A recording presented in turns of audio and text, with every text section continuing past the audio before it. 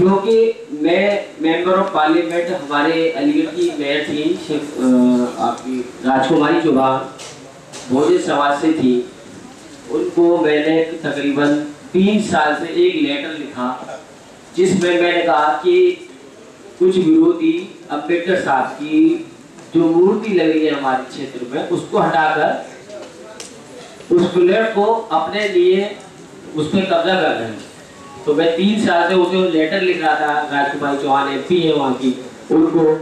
और क्योंकि जिस व्यक्ति ने संविधान लिखा, उसको समझाने के लिए मैं उन एमपी के पास पाँच से सात बार गया, मगर उन्होंने कोई जवाब नहीं दिया। मैंने उनका एक साल तक तकरीबन उनका पूरा चाहा मगर मुझे मिला नहीं, एक साल से सहयोग मांग रहा था मैं उसके लिए कि अंबेडकर साहब ऐसे व्यक्ति जिन्होंने संविधान को ऐसा लिखा है कि आज तक कोई और व्यक्ति नहीं लिख पाया और ना ही लिख पाएगा। मैं अपनी बात यहाँ इसलिए अलीगढ़ से चलकर यहाँ कहना आया हूँ क्योंकि वो भी राजकुमारी चौहान जो पिछले वर्ष एमपी रही थी, वो थी बहुजन समाज से।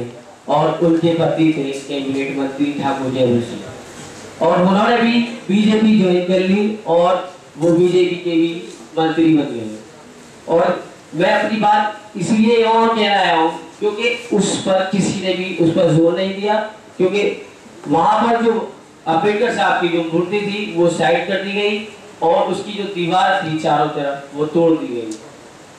वहाँ थोड़े से गरीब लोग रहते हैं, वहाँ मैं पढ़ाने जाता था तो मैंने उसी से इकट्ठा पैसा किया और उसकी चारों तरफ़ पॉटी कराकर उस कार्य को पूरा किया।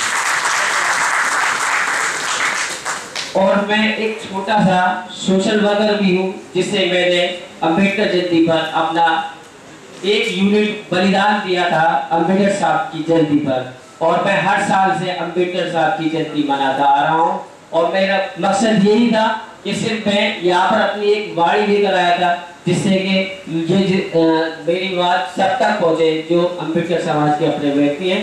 और मैं अंबेडकर यूनियन स्टूडेंट अली समाज task view of Aligarh university के प्रभारी हूँ। बस मैं अपनी बात यही से खत्म करता हूँ। धन्यवाद।